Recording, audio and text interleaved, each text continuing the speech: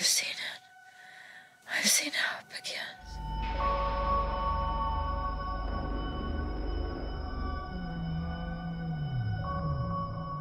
I'm here to offer you a deal. Civilization is in its final stages. I'm asking you to betray the whole human race. Do you mind if I smoke? Kill him before he kills us all.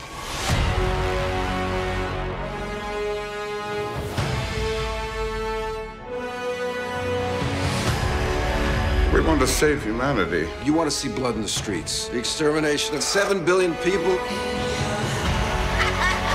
I have to find our son. Mother, they know that we know.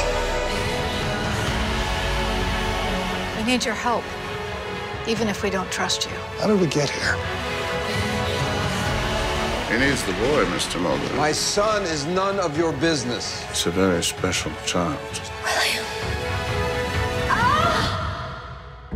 You have to find him, and you have to stop him before he unleashes hell on earth.